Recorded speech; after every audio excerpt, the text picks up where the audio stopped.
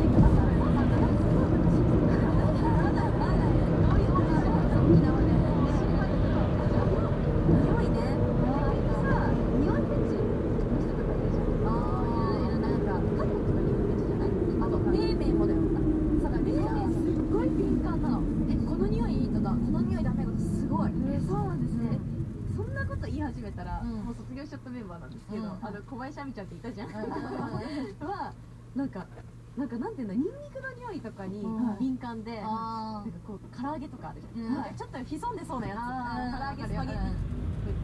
ダメだニンニクだ。食べれないとか。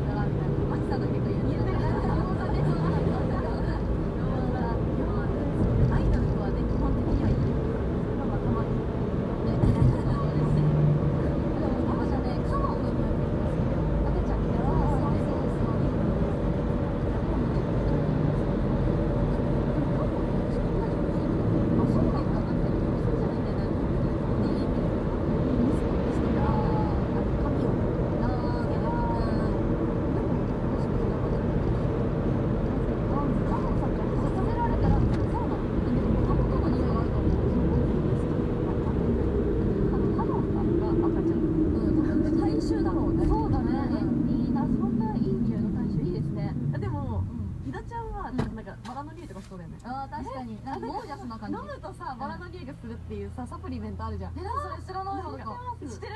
あれ一回飲んでみて。自分ないですよそれでちょっとこういう時にあいい匂いだなって思ったら私でちょっと実験。人体実験ね。よろしくないな。そう。え、イちゃんはさ、メンバーでこの匂いいいなって思った人偉いの？匂いだなとか。